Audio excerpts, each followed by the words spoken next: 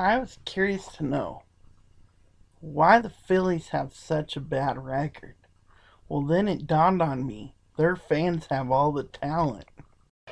Prolongs the inning. The way the bullpen has been, Bud Black is going to be ecstatic. Oh, without question.